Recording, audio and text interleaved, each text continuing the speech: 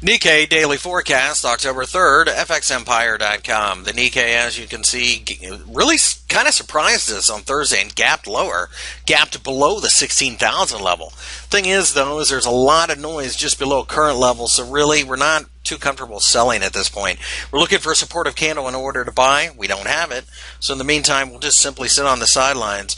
Uh, but we do recognize that the Bank of Japan is going to do whatever it can to continue to um, keep this market afloat.